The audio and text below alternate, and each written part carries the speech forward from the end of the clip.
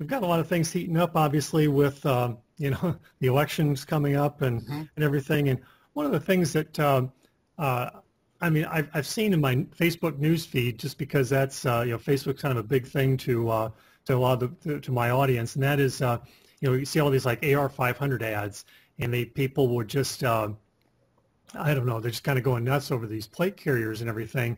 And uh, I get I get it for the you know the stuff hits the fan kind of deal. You know, it's uh, and, and they're and they're cool. Okay, I, I get that. But um, at the same time, I'm thinking you know if things get a little dicey. Uh, now I, have got friends that well, I've got family in law enforcement too, and they're like you know I, I wear these uh, uh, these tat these um, uh, five one one tactical pants. You know, sure. yeah, pockets and everything.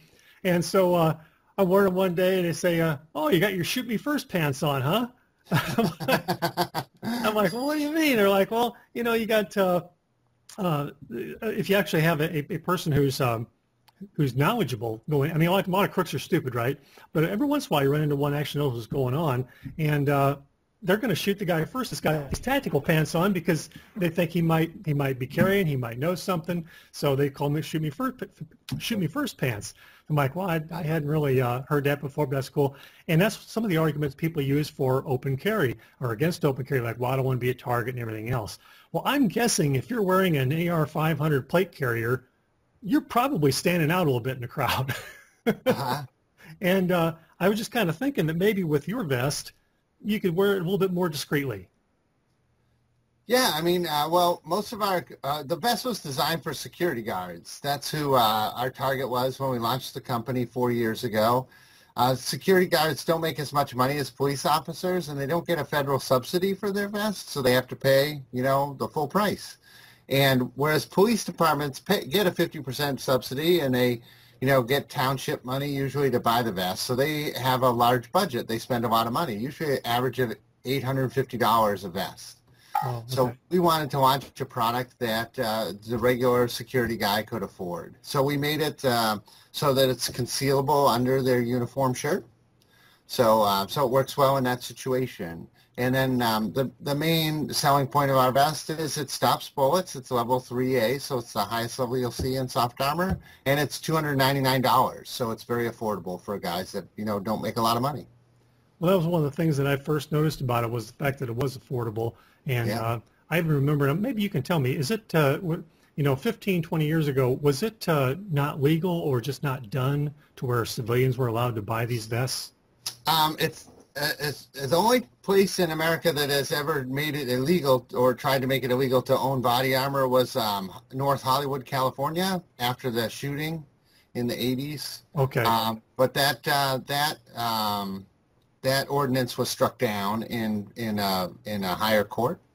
So um, it's always been legal. However, uh, companies that sell to police departments generally ask their retailers, or a, lot of them ask their retailers to only sell to um, to law enforcement. So it's not that it's illegal; it's that it's been that, that um, companies have refused to sell to the civilian market. Okay. Do you, do you sell to civilians? Yeah, yeah. Almost all our customers are civilians. Okay. Sure. Perfect. Yeah, because security guards are civilians. Guys that fill ATMs are civilians. Process servers, repo man, jewelers that carry, you know, lots of cash. Those are all civilians. I hate the word civilian. I, I personally think police officers really should be classified civilians. I mean, they're not soldiers. Correct. They, they serve and protect. I get it, but I don't like that word civilian. Everyone should be, you know, we're all citizens, so. Well, yeah. I, I, I, concur. And you know, the yeah. thing that, uh, the, what kind of prompted the question was I remember back, you know, prior to Y2K, some of the people uh, I know were kind of like in that mindset, well, you know, should I get a bulletproof vest, you know? And I actually found a company, you couldn't find them too easily, you know. Of course, we didn't have, I mean, we had the internet, you know, but not yeah. didn't really have the web as we know it today, obviously. Google no, no. wasn't around. Um, a few other search engines. But anyway, uh, and, and they wouldn't sell to us and we said, hey, you know, we're we're even, you know, got a got a, a, a, an actual shooting range. It'd be nice for the range officer to be able to have a vest on, and, and of course this is before some of those accidents have happened. But uh, anyway, uh, and they they wouldn't do it. So that was just kind of an interesting uh, uh, turn of events then, and, and sad when people a few years later had to buy vests for their for their kids over in Iraq mm-hmm. know, and because the government couldn't couldn't provide them or in a quantity. Couldn't get them fast enough, yeah. Yeah, and I know a lot of people bought them for their kids and shipped them over there, and that had to be an experience too. But uh, so I guess that's uh, that's kind of the, the, one of the like I say the kind of the first distinctions there because um, uh, and, of course the plate carriers got now let, let, me ask you a question about plate carrier. You don't you don't sell plate carriers necessarily. You do have kind of a tactical vest. Yeah, we sell we make plates. We just make bulletproof things. There's plenty of companies out there that make the carriers and the cutting and the stitching, but we just focus on the things that have to stop the bullets themselves. So we make products that go in plate carriers, like we make plates and we make a we have a soft armor panel and that type of thing but um, but we don't make the carriers. We let companies like Fox and Condor and Voodoo and you know Rothco and those companies do that. That's that's what they do. They they're busy stitching up duffel bags and that sort of stuff. We we, we let them do the stitching and the cutting. Now that's that probably answers my question, but just so it's clear for everyone, if you've got a plate carrier, any mm-hmm. place, I mean, the, the the carrier itself has no anti-ballistic qualities. Is that correct? Yeah, they're, yeah, they're just made out of they're just uh, made out of the same stuff your pants or backpack are made out of. Yeah, so, and they don't stop bullets on their own. So the, the the plate carrier really doesn't have it just has the the vitals only. Whereas, am I wrong in thinking that, that your vest does a lot more than that? Well, we make like uh, I have a couple products here. We make like this panel. Let me see you back up. So uh-huh. this panel can go in a plate carrier, and that will make the carrier bulletproof. I have a plate carrier here. So um, this is a plate carrier. Wow. Get a little show and tell. So this is a plate carrier. this one is, um, I believe, made by Rothco.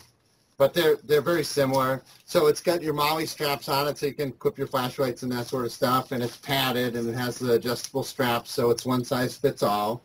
Mm-hmm. Um, but inside it, it, there's nothing there. You know, it's kind of just got some foam padding. So this product, which is a soft armor panel, if you put it into the plate carrier, then you're, this is a level 3A soft armor panel. So that will stop a, a handgun round. Okay. And then if you put in, let's see, we have, if you put in something like this, which is like a ceramic plate into here, then you can stop like AR rounds. Sure. So, so that's kind of, uh, you know, but, um, but the coverage area here is fairly small. You know, this is 10 wide by 12 with the corners locked off. So it's like 116 square inches. And when you go to, so double that's, you know, front and back. So you got 230 square inches of coverage. When you go to a vest, like our standard vests are $299 vests, you're at like 300 to 400 square inches. So you're almost double the coverage area for just a little more money. Um, vests, we always say the plate carriers are for recreational use or for prepper use, you know, because they just cover your chest. But um, vests are for professional use. So if you're someone that uh, you know has a dangerous job, then a vest and the coverage area that you get from it is probably a better choice. Okay. Well, I hope that's a good summary. Yeah. And actually, the vest behind me here is our Alpha, which is um, it has collar and shoulder protection as well. So that's even beyond above and beyond. If you really want to be prepped for the apocalypse, you know, you could go with, you know, this thing has like the crotch protector mm-hmm. and the shoulder collar, the wraparound side. So there you're talking like, I think it's 700 square inches of coverage. Wow. Something, it might even be more into the, you get into the extra larges and that and you're into the 800 square inches. So. Well, but, one, uh, one of the yeah. things that, um, that, you know, the kind of the, the, the audience that, for the most part, my audience is going to be say 40, 45 and up. I mean, we've got some younger people and they're obviously all welcome, but a lot yeah. of them are a little bit older. A lot of them are semi-retired. Uh, a lot of them are retired law enforcement. And mm-hmm. a lot of these guys are getting jobs, uh, you know, like driving, driving Uber. Yeah. Yeah. Very popular. Yeah. And, uh, you know, there's been some incidents where some guys are like, Hey, I need to be carrying when I'm driving in Uber. Yeah. And, uh, might make sense too, to even to wear a, again a, a discreet vest as opposed to you don't want to show up in a plate carrier. yeah, yeah, know? yeah. So a nice, so a nice bulletproof vest, you know, is a good choice. They're easy to wear. They're flexible and light. Um, they're going to stop handgun rounds. So if you're an Uber driver, you're not going to roll up and some guy's not going to get in the car with an AK-47. I think the FBI statistics will show like 89% of crimes are done with handguns. So handgun calibers is what you need to protect against. So, you need you need uh, like a 3A. It will stop all the handguns, and it's flexible and it's light. Um, it's inexpensive, so so I think that a, a vest is probably a great choice in that situation. Well, and that's one of the reasons, like I say, that, that kind of attracted me to yours because it just looks like it's a lot more, uh, uh, I don't know, just, just a lot more practical for the kind of thing that, uh, that we're talking about. And one of the things that you may not have an answer to, or you may laugh, snicker, I'm going to ask it anyway, but this goes back quite a few years, and uh, I'm wondering, is, is it kind of an urban legend? Was someone, did someone, or did, is there any kind of clothing that is actually ha- has a bulletproof tendency to it, where you could actually have a dress shirt made out of a product that is bulletproof or bullet resistant of any in any sure, way. Yeah. I like the term bulletproof. I, I, have no qualms about bulletproof as a term. Um, so uh, is there bulletproof clothing? There's a company in Colombia. It's like uh, he calls himself the bulletproof tailor, and he will make you anything you want in a ballistic material. He's not a wizard. He can't make it paper thin, but mm-hmm. he'll make you overcoats, suit coats, jack golf jackets. Um, actually, anything you see the President of the United States wearing in the last 20 years has been bulletproof. Golf jackets, overcoats, um, even there, there was even um, talk that Michelle Obama's dress at the uh, Democratic National Convention might have had a ballistic component. And looking at it, I would tell you that it probably did. So really, yeah, you know, I mean, you're talking about like a panel of this nature is you know a third of an inch thick. It's flexible. It could easily be sewn into you know a corset or some other material. So there's a man in Colombia that does that work. You know, Colombia is kind of a dangerous place, and uh, and and he makes those things. It's not cheap. I think the pricing is anywhere between you know thousands of dollars on up. Okay. So it does so, do that work. Yeah. So, so for the so for the rich and famous, uh, there is there is such a product then. Yeah, yeah, and I've seen uh, like a golf. I think someone makes a golf jacket that's in the thousand dollar range. So so they're coming down in price. So we, we we've thought about it, but we like to see a very high. Our business is like we're like the Model T Ford of bulletproof vests. We want to hit very high volumes to make, make very low prices happen. And I'm not exactly sure that. Uh, that a jacket or a sweatshirt or something like that is is that answer to that question. Uh, understood, understood. Yeah. That's and that's a that's a good answer. I appreciate it because I yeah. like I say you, you, hear kind of rumors of those things and you just never know what uh, just never really know what's what's going on, what reality is versus uh, you know what, yeah.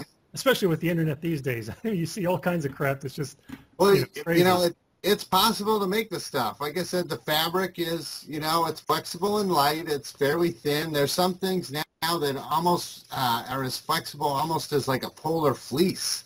They're really getting quite amazing in their capabilities. Um, you know, we're not the leader in that business. We're the value leader in the industry, but I get to see the, the fabrics and things. I get shown all of that sort of stuff, and some of it is is amazing. Um, and if you have the money, you know, it's possible to have all that stuff made. So it's pretty neat stuff. Well, speaking of neat stuff, you've got a ball cap. Yeah, yeah. Um, yeah, I invented a baseball cap. I could run and get one if you want me to. Um, no, so I, have seen it on the on yeah. you know on, on the website. So, it, I mean, uh, have you got quite a few of those out in service and yeah. people happy with them and everything? Yeah, people seem to be pretty happy with them. Yeah, every once in a while we um, we had to mold it to some shape, you know. So every once in a while, we find a skull shape that doesn't fit. It doesn't fit particularly well, but I think for 98% of the people out there, it fits well, and it, it it's light. The whole thing with the cap and the panel, it weighs eight ounces. It's reasonably priced. It's $129, and it stops at 45, so it stops bullets well. Um, yeah, I think it's pretty successful. Well, when it first uh, when I first got wind of it, I think it was actually uh, something you were going to offer and didn't even have it coming out yet. So uh, that's good to hear. Yeah, we did a crowdfunding to help make it happen. There was a point at which I didn't know if people actually wanted it or not, uh-huh. and it was an expensive. It wasn't. It was going to be an expensive sort of manufacturing thing to do, and so I asked my wife if she wanted to, you know, invest our money into it. We, are already pretty deep in the bulletproof vest business as it is, you know, and. Uh, so and she's and she said that why don't we stick to just vests? And I thought, man, this is a pretty neat invention. And one day I just woke up and said, crowdfunding. I should crowdfund this. So we did a Kickstarter thing for it, and a bunch of people pre-ordered it. It gave us the money to buy the tooling to make it, and then, then put it in production. So that was uh, a, a little over a year ago. I think it's been in production since January. Well, that's awesome. Yeah. That's awesome. Yeah. Well, if I can ask you a quick question then about the uh, the plates. Um, there's ceramic and there's steel. Uh-huh. Is is it just simply a matter of whether or not you can afford the weight, whether you go with one over the other, or Oh yeah, there's polyethylene too. Did you know that? um, haven't seen those? Now it's yeah, so we make a poly. We don't make a steel plate. I'm not a. AR500 makes steel plate, and they do a great job of it. So um, it's not our customer like the professional person doesn't buy steel plates. It's really heavy. I mean, uh, you know, I had a set, and I was really. It's shockingly heavy. Oh yeah, around nine nine pounds of plate, so 20, 18 pounds for the pair. That's a that's a lot of weight to carry around. So Oh, yeah. um, so and they do a great job. They're nice people. I've met them at trade shows. They they they you know they just do a great job. Why would I want the same reason why I don't stitch up a plate carrier? I've met these folks. I like them. I I respect them. I don't want to compete with them. I want to do what I think I can do best. And um, so ceramic is a lighter technology. It's um, so a steel plate's about nine. Ceramic plate is five point seven pounds. So Okay. it knocks off a good chunk. Um, and uh, instead of the eighty nine ninety nine dollars for the steel, they're one hundred and sixty nine. So I think it's a good compromise as far as cost and weight goes. sure. Um, I also like there's some other qualities. Uh, steel plates have a good quality in that you can shoot, get shot over and over and over again, and they'll continue to stop bullets. So that's good. Right. Um, ceramic plates assume that if you get shot once, you get the heck out of there, you know? And so that's a pro and a con, a con for ceramic, pro for steel. The pro for ceramic is that they don't have a spall issue. And spall is when the bullet spatters, hits, Hmm. this, hits something hard and, you know, and spreads. And um, so ceramic doesn't have that problem, and steel does. So um, so we, we chose ceramic as our the technology we should do most of, and our ceramic plates are our best seller. Um, there's also a third technology, which is polyethylene, which are these soft plates are made out of polyethylene, but these polyethylene plates are compressed and they're hard and they and they stop bullets really well, but they take a lot of polyethylene and a lot of compression to make, so they're expensive. I see. So we make a polyethylene plate that's $299. So steel is 99 and it weighs 9 pounds. I'm oversimplifying, but steel is generally about 100 bucks, 9 pounds. Ceramic is 169 bucks, 5.7 pounds. Polyethylene is 3.3 pounds, so it's really light. $299 a plate. Okay. And then So- can what happens with the polyethylene when it gets shot? Do you, do Ah, you have to get the heck out of there? the best of all worlds. It has good multi-shot capability. It you know, and it's uh, and it doesn't have any spall issues. So that's so it's the best of everything. It's just expensive. Sure. So Sure. ninety nine bucks. Yeah. And- so we're working on um, it's a volume thing. We're working on getting the volume right um, and selling more and more of those. And we're hoping that as we sell more of them, we can get the price lower. So Oh, sure. yeah. Right now, there, uh, our polyethylene plate is two ninety nine, but unfortunately, we can't offer it to our dealers yet because we don't. There's, it doesn't make any money. I guess it's the way it goes, and uh, so we're hoping to sell enough of them that we can start offering them to dealers. Then when we offer them to our dealers, then we'll sell even more, and then the, hopefully a couple of years from now, the price will come down even further. Sure. Sure. As as as what happens with a lot of new technologies. Or, Yeah, you kind of hope that one product puts the other product out of business. you but my job is to make sure you have both. Oh yeah. yeah. And, and and for some people, you know, if they're if they've got a, and especially talk about professionals, they they might have a two thousand dollar suit, they might have a a fifteen hundred dollar gun. Uh, you know, what's an extra hundred and fifty bucks for a, a plate that's going to save their life? You know, That's and, and right. And, and, and wear it better because it's lighter. Yeah, when you feel the polyethylene plate, it has this um, heft to it, like lack of mass. And I, it's something strange about it, but it's lighter, I think it's because we're used to like picking up books. Books is a common thing to pick up, like mm-hmm. sheets of paper, reams of paper. And the polyethylene plate is lighter than the equivalent amount of paper would be. So when you think, look at it and you pick it up, you say, whoa, that's light. Like it really feels light. Whereas when you pick up a steel thing, you go, whoa, that's really heavy. when you pick up a ceramic one, like it must be between your eye and the thing you're picking up. Because at trade shows and shows where I hand this thing to, you know, we'll hand, hand it to people and hand it to a 100 people and everybody says the same thing. Whoa, that's, you know, like ceramic. They'll go, okay, yep, yeah. How many? How much is that? 5.7 pounds? Okay, yeah, that seems about right. And then you hand the polyethylene, which is only two and a half pounds lighter, you know, and they'll mm-hmm. go like, whoa, like that is light. So there's something in your brain that makes one seem really light. Well, and, and when you're carrying this thing all day long, it's going to, a couple pounds is going to matter. Yeah, and that's who buys the PE, what do you call it, PE? That's who buys the PE plate. It's the, alpha, we call it the Alpha, BulletSafe Alpha, which is our, like, super duper line. And, and um, that's who buys the Alpha plate. It's people who wear them all day, every day. So we're selling them to generally police officers. So.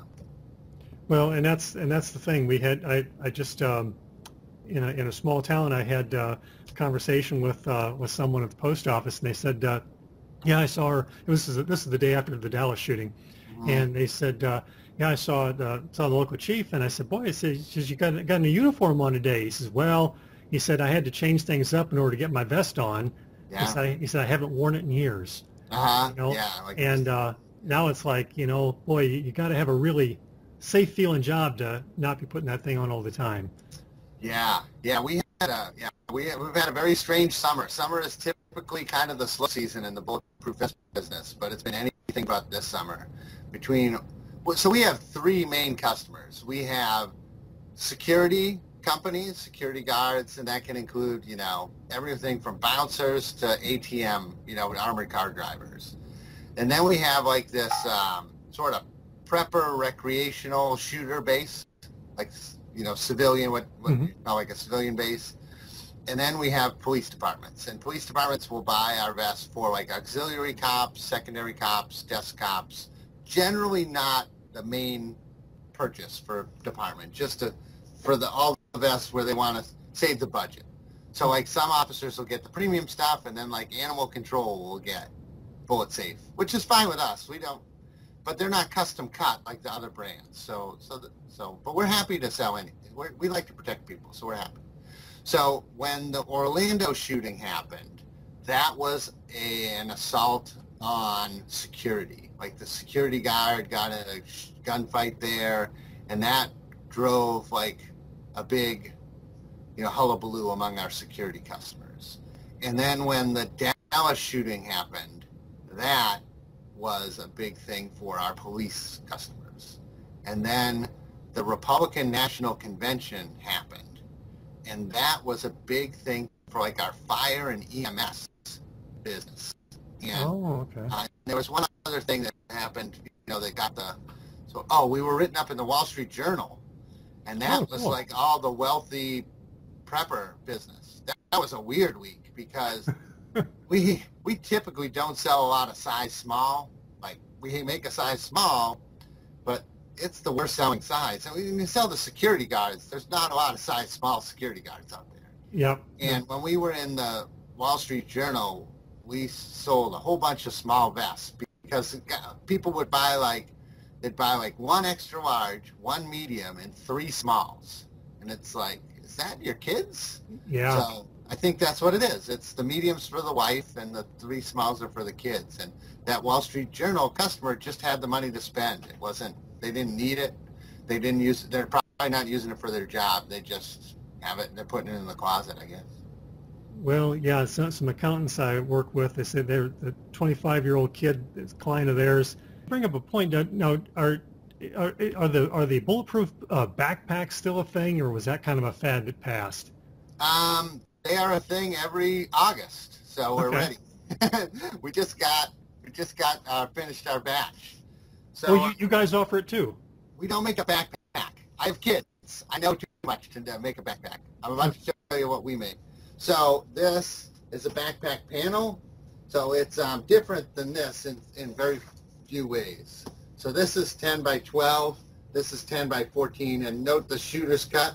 Mm-hmm. Like that's supposed to so you can put your gun up to your shoulder. But this panel goes in a backpack.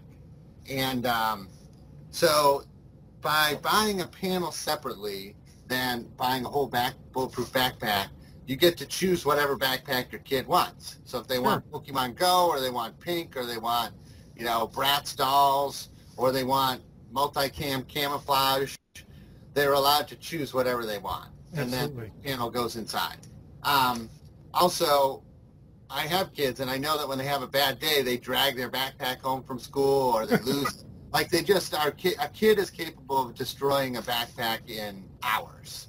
So and if they destroy the backpack if you have a if you pay $200 for a bulletproof backpack you're out 200 bucks. Whereas if you have a panel inside it you can just get a new back you know scold them and get them a new backpack at the the next one the second one comes from the salvation army i think and then um, then you can just put this panel into the next backpack or the next time or if you you know if you get concerned for their welfare, you can one kid's welfare, you can take it out, or you put it in your backpack, bug out bag or something on the weekend. Oh, Put it in shooting bag if you go to the range. So um, the other feature ours has, which is unique, is our uh, bulletproof backpack panel comes with a washable casing. Oh. So the armor panel is in here. So this is the armor panel, and this is the casing. So you take it out, and you put this part in the wash Great. See? because I have kids, Yeah. and I know that you- need to wash stuff that goes in the backpack. ice cream cones go in their backpack. Uh-huh. I'll save this for later, and it's like the ice cream sandwich. Um, also, this is really durable too. It's made out of like a 600 denier, so it's you know like if you put it in there with pens or a screwdriver or something, it's not going to tear. Whereas usually the UV liner for ballistic panels is fairly um, easy to tear. So so we so it's designed, and this is uh, ninety-nine dollars. So it's much more reasonable than buying a whole backpack. Oh yeah, and and like you say, I mean, they got Pokemon Go this year, and then next year it's gonna be like, Mom, that was so last year. I'm not wearing Pokemon Go back Yeah. yeah, Yeah. yeah. Or, Yeah, I'm in I junior can't- high now, or whatever, you know. Yeah, oh yeah, that, yeah, exactly. So so this allows you a lot of flexibility. So I like it. And then for us, it allows us to make it at a high volume, one product, get the volume high, get the price low. And then mm-hmm. our dealers, a lot of our dealers are like Army Navy stores, and those places have a great backpack selection. They have, you know, all the hunter colors, all the camo colors, all reasonably priced, you know, black, red, yellow, pink, all the stuff you need. Army Navy store is a great place for back shopping, like backpacks, and they'll and then they'll stock this one product. It's like just carry this, put it next to the backpacks, and we'll all have a good year. So, Oh yeah. N- n- good way to kill a business is too many SKUs. yeah, I tell you, you you're, talking to the king of limited SKUs. BulletSafe vests come in any color you want, as long as it's black. There you go. Yeah. Absolutely. Well, let me give you a chance to mention that you said in, a, in, an, in an email about uh, a video series you were doing. Oh yeah, we this great video series. I'm very happy about it. We've been doing it for a couple of years. It's called How Bulletproof, and it satisfies two things. One, it shows how bulletproof our vest is, and two, it satisfies everybody's desire to watch things get shot. so, so uh, what we do is we do a new new episode um, every couple weeks or so. We what we do really is we film them all summer with a college intern, like a film student, sure. because they're good at this stuff Right. and then we shoot about and then every couple weeks we release an episode so what we'll do is we'll shoot the BulletSafe vest with a 50 cal desert eagle so this Oh. huge handgun you know and then we will shoot something else to show you what is the equivalent of a bulletproof vest so one the first episode we ever did we shot uh, we lined up 24 layers of drywall to see Uh-huh. how many layers it would take to stop the same bullet that a bulletproof vest does. You want to guess how many it took? For a 50? Yeah, Oh, golly. half inch drywall, so the good stuff. Uh, got to be a dozen anyway. It went through all 24. Did it really? Yeah. So like, wow, we were all shocked. We're like, oh my gosh, bullets, you know, because you're used to shooting paper targets and stuff. So then we, um, so then we lined up 24 layers of plywood, like half inch plywood, because that's a lot stronger. So Uh-huh. then uh, that took 13 layers. So and it's neat to see like, whoa, like that's a lot of plywood. And 13 layers of plywood is, you know, just a ton. So, um, so we've done all sorts of things. Yesterday, we, sh- we shot an episode, a few episodes yesterday. Um, we did, uh, my favorite one yesterday was car doors. Oh, so we, yeah. had, we had a police car door. We got, I went to the junkyard and got a Crown Victoria door with the window down. And uh, we had three car doors. So we lined those up and it took one and a half car doors to stop a bullet. So Yeah. went right through the door, inner door, outer door, and glass, and then went through the outer door of the next one.